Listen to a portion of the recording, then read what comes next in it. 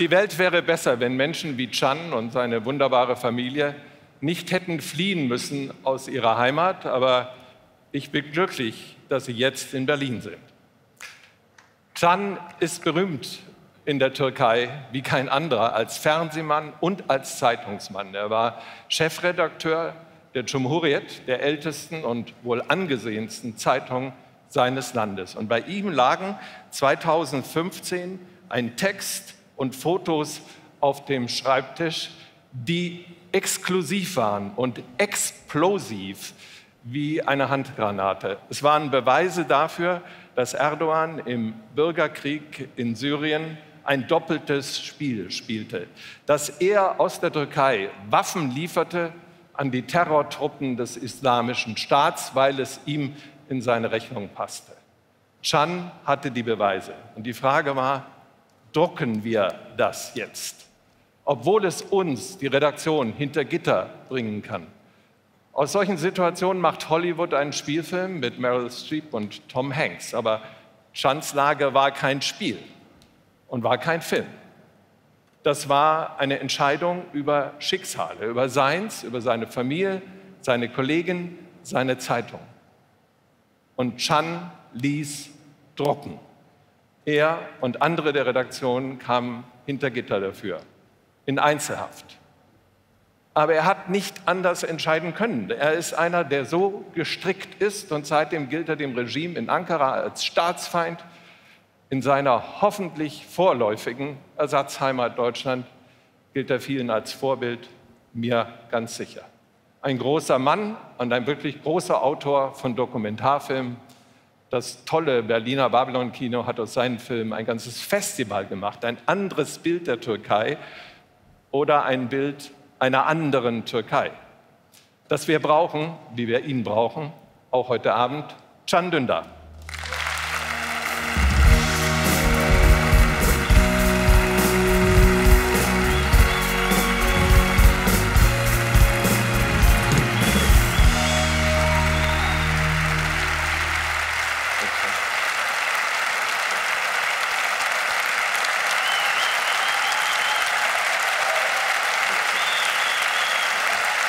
Thank you. Thank you, sir.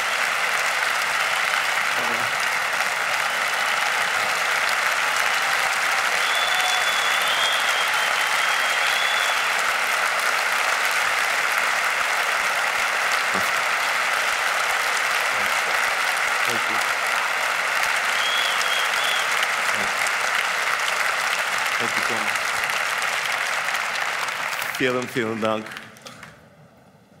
Dear Klaus, thank you so much for your kind words. And thank you very much for, to you all for this very warm welcome. Uh, a documentary means rewriting history, redefining society,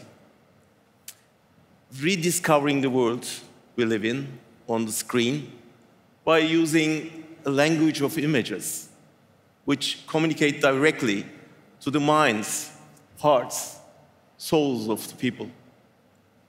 Documentaries contribute to our feeling of empathy, our knowledge of the planet, our understanding of past and present.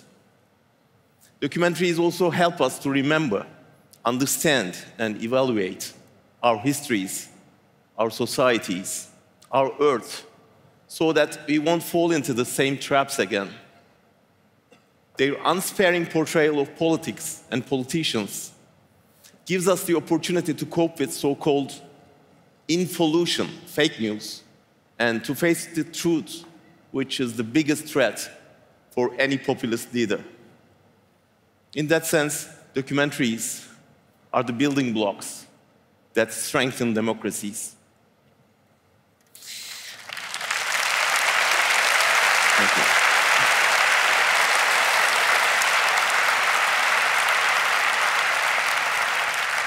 Document documentaries like Herr Bachmann und seine Klasse enable us to understand a country or a century over a classroom.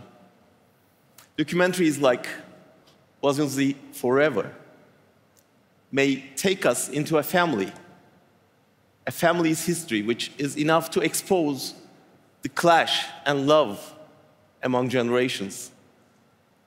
Documentaries like Space Dogs help us to see a city and remember the brutality of humanity with the eyes of two dogs.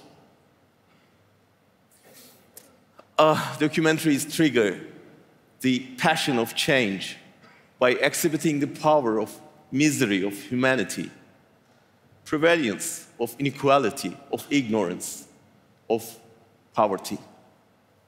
And documentaries support democracy by showing us the destructive face of totalitarian rule. In short, documentaries function as lighthouses in troubled times like today.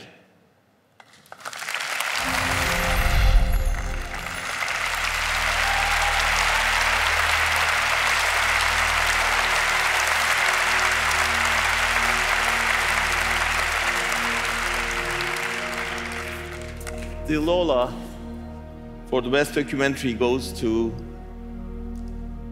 Herr Bachmann und seine Klasse, produced and directed by Marian Stahl.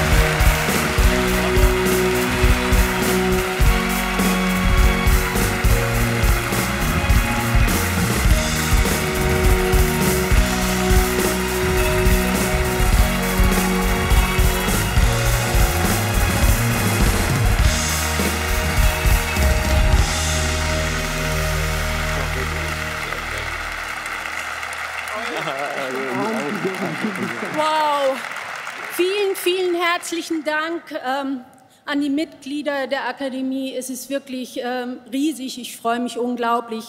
Schon an dem Tag, als die Nominierungen bekannt gegeben wurden, ähm, dachte ich, oh mein Gott, geht es gut? Es war mein Geburtstag und ich durfte feiern, weil ich zwei Geburtstagsgeschenke bekommen habe. Wunderschön. Und ähm, die Sache mit dem Herrn Bachmann und seiner Klasse, das war keine einfache, sondern eher eine lange Geburt. Der Geburtstermin hat sich um Jahre verschoben. Und dann war ich wirklich glücklich, als dieses Baby endlich auf dieser Welt war. Und es ist auch gleich losgelaufen, um die Welt zu erobern und die Menschen. Und ich hoffe, dass diese Auszeichnung und Anerkennung den Film die Chance gibt, dass er noch weiterlebt. Er ist gerade im Kino und ich hoffe, dass noch viele, viele Menschen sich diesen Film anschauen werden, weil ich finde, er ist wichtig, sich diese Menschen und diesen Lehrer anzusehen. Ja? Und das ist mir wirklich eine Herzensangelegenheit. Und ich möchte besonders dir, Dieter, danken, weil für,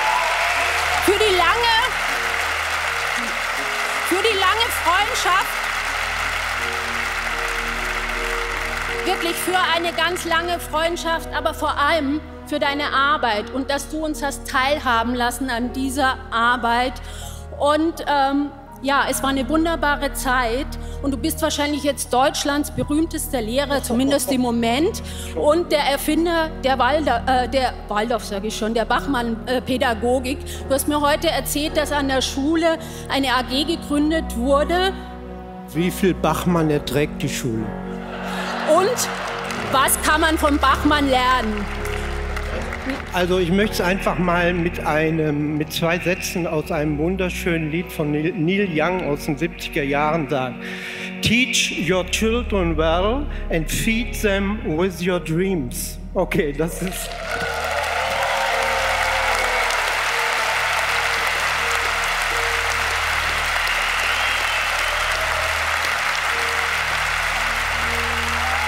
Ihr seht schon, Herr Bachmann ist auch ein großer Performer und deswegen äh, hat es auch sehr, sehr viel Spaß gemacht. Aber ich muss jetzt diesen wunder, wundervollen Kindern, also eigentlich allen Menschen, die bei diesem Film mitgemacht haben, für ihr Vertrauen danken und diesen wunder, wunderbaren Kindern, die uns einfach so in ihre Klasse aufgenommen haben und integriert haben. Äh, ihr seid die Helden, die Stars des Films. Ihr seid es, die die Menschen berühren und die uns alle in den Bann ziehen. Und jetzt muss ich schnell machen. Auch meinem Team möchte ich danken. Das war klein, aber sehr, sehr fein dem Kameramann Reinhold Vorschneider und Brigitte Mulders, die auch, ich habe ja schon von diesen Geburtsproblemen gesprochen, aber sie waren die ganze Zeit an meiner Seite, ohne Geld, ja, und ich äh, danke euch von Herzen und auch allen, die mitgemacht haben und danke, ein großartiger Abend.